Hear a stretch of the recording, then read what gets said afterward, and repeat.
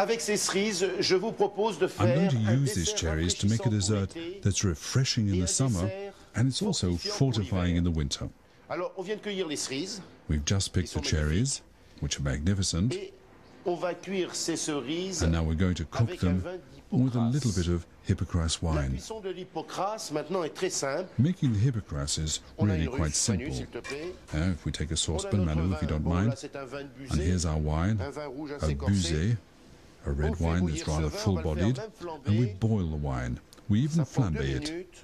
That takes a couple of minutes, Y mettre la vanille, and we're going to add vanille fondue en deux, vanilla split in two, le gingembre qui a été épluché Some et peeled sliced ginger. s'il te plaît.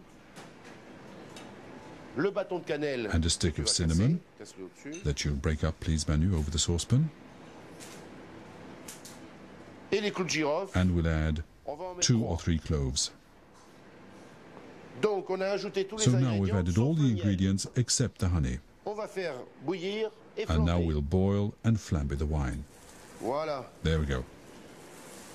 Alors le maintenant lorsque le vin va être flambé, Now, while the wine is being mettre le miel. flambéed, we'll add the honey on va redonner une ébullition. and then C'est à ce bring the mixture to a boil again. Lorsque l'ébullition va repartir, And just as it starts to boil. We'll add the cherries. maintenant, si tu veux Go ahead, Manu. Add the cherries, alors on les please, very une queue de gently. cerise, bien sûr, comme vous voyez. And you'll notice we've left the stems on the cherries. Alors, bien, alors quand on voit tout ce qu'il y a dedans, Now look at everything we've got in there.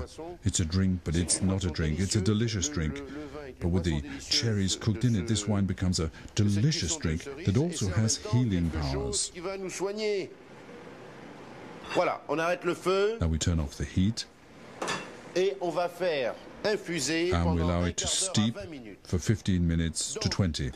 20 minutes ont passé. So it's already 20 minutes. Et Manu, je vais te demander de m'aider. And Manu, I'm going to ask you to give me a hand here.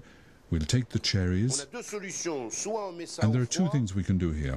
Either we put this in the fridge, dans un bocal or we can put it in jars. And I'll show you how we can conserve it in the cellar for the winter.